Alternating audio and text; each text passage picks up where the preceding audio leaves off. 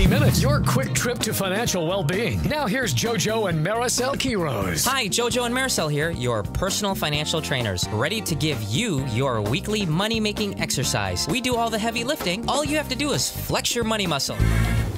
Welcome back, Kapuso, to another installment of KMG Money Minute. Today, we're going to be hearing from an inspiring entrepreneur, Brian MacMahon, CEO of Expert Dojo. I'm going to give you five tips on how you should prepare to get started in business today. Tip number one, get educated. Make sure that you learn everything that you need to know about starting a new business. Tip number two, get supported. And that means as many peers as you possibly can. Tip number three, make sure that rather than sit in your room and develop whatever you're gonna develop, get out to the real world and you meet people who have their own businesses. Tip number four is get expertise. Make sure that the people that you surround yourself with are people who are really experts in their subject matter and that they can guide you all the way through that journey itself. Tip number five is get structured and get coordinated. And the most important thing is that you choose help in some way to make sure that you don't take this journey alone. And Brian MacMahon from Expert Dojo wishing you